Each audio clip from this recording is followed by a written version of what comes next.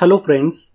Imagine you have an empty room just waiting to be transformed into a magical space.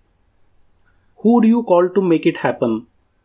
An interior designer or an interior decorator? They both have unique skills and talents to create amazing spaces, but they approach their work in different ways. In this video, we will see differences between the two and also see who you should hire. So let us start. Scope of work Interior designers focus on both the aesthetic and functional aspects of a space. They have a broader scope of work, including spatial planning, architectural modifications, material selection, lighting design, and project management. On the other hand, interior decorators primarily focus on the aesthetics of a space.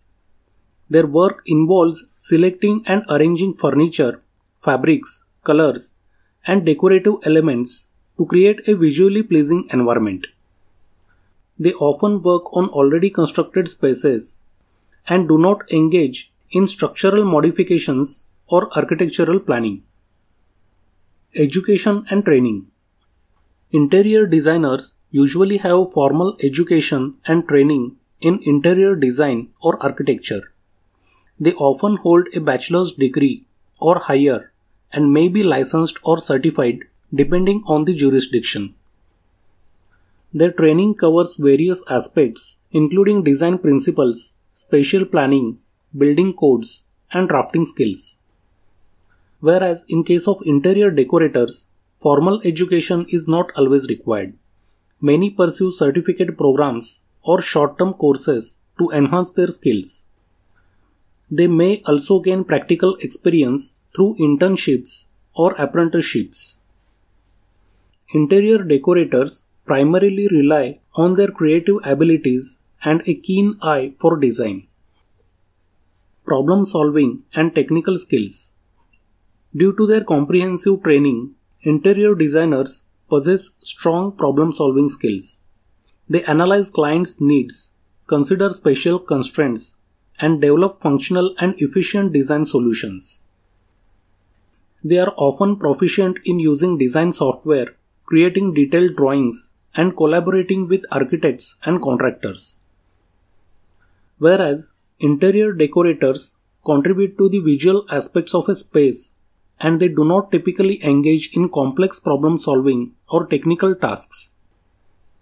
Their skills lie in color coordination, furniture arrangement, and selection of decorative items to create a cohesive and aesthetically pleasing atmosphere.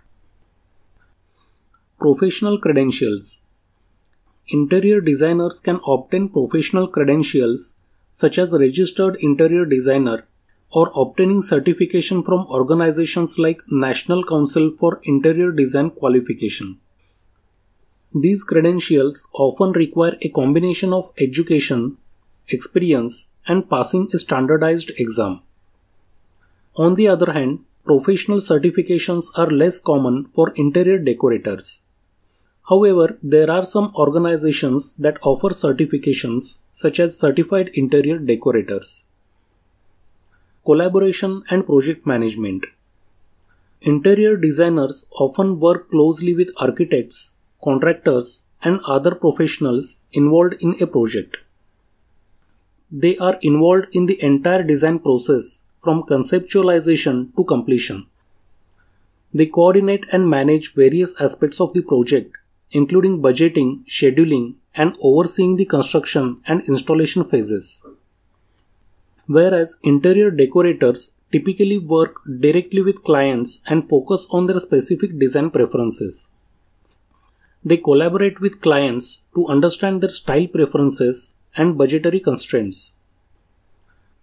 Who you should hire. Who you should hire depends on your needs. If structural changes are needed, such as removing a wall, moving plumbing or wiring around, or adding new windows or doors, an interior designer is generally the better choice.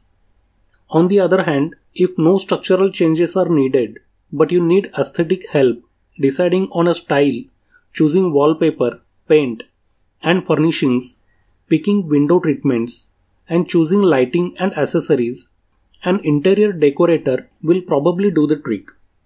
So friends, see you in the next video. Thanks for watching.